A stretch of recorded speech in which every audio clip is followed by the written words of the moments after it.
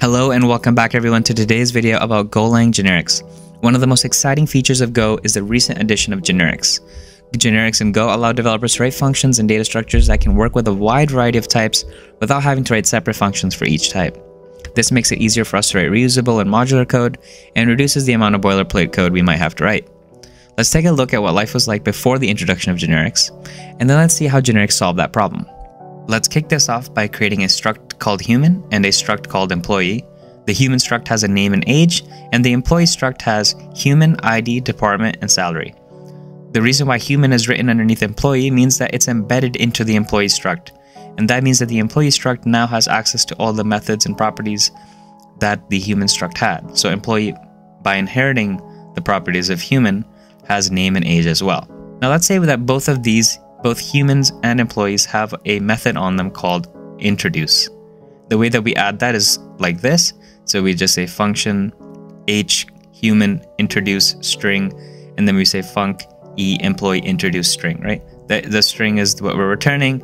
This on the left hand side, this h human means that we're extending human, e employee means we're extending employee.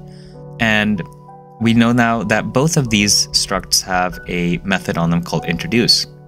So what if we wanted to write a function that takes in a slice of humans or employees and returns a slice of a result of all of their introductions?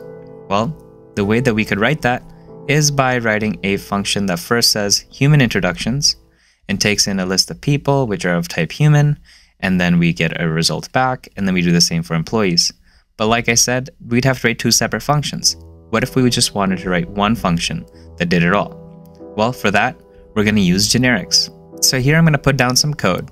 The introductions function takes in a slice of any type T that satisfies the humanish interface. The humanish interface down below shows that it is applied to anything that has an introduce method on it and returns a string. The function introductions then iterates over the slice and calls the introduce method on each object. We can then use this function to get the introductions of both human and employee objects.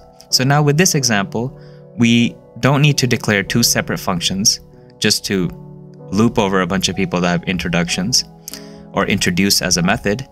But instead, we can leverage interfaces, like we made this interface called humanish, and we can also leverage generics, this t humanish thing, so that we can take in any type of method, any type of class or struct that has the introduce method on it.